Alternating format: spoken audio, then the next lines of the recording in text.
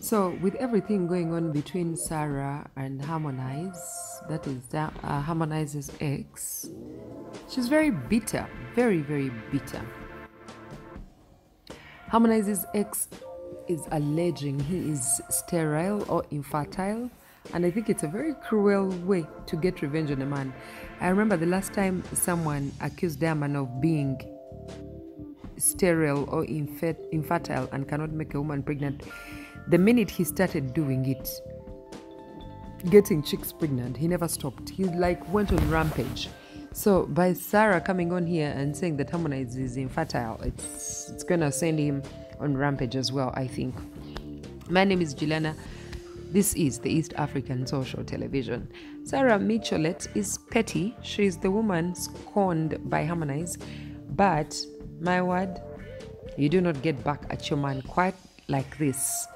This is just brutal and very cruel, in my own say.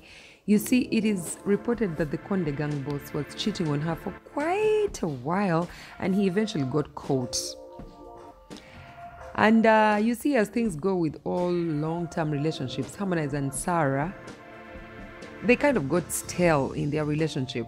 The sex was boring, they were both tired of the Mwandane, but it was him, the Tanzanian bongo star, who chose to stray.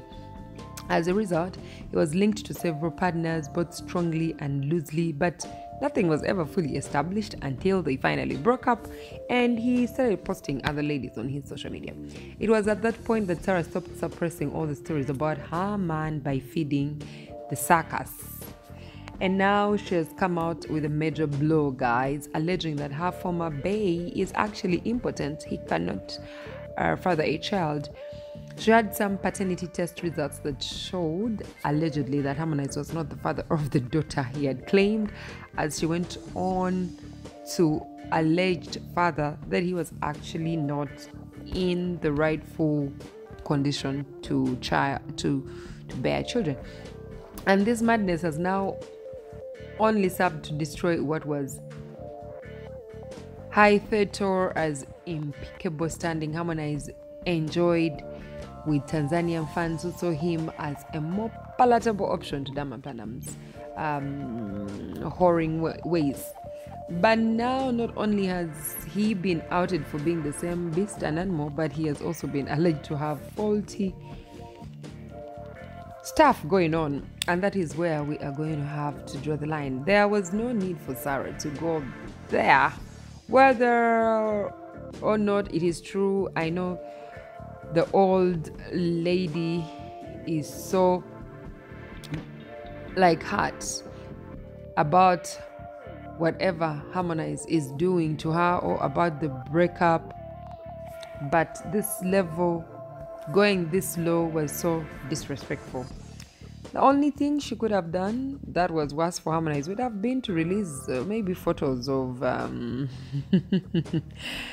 Harmonize's girls as he exited the bathroom, following cold with them that sometimes, I mean, sometimes trended.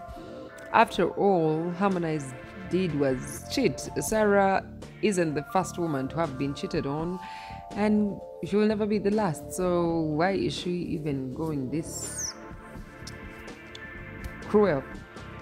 She should have known that dating a star would come with certain uh, uncertainties. She could have known this would have happened. And after all, Harmonize cheating on her doesn't mean he stopped loving her. I don't know if I would take back a cheat though, but looks like women these days have made it seem like it's okay, eh?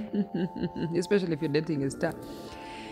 So Harmonize still loves her, but the cheating, it's merely meant that he had chosen to embrace what it means to be a man from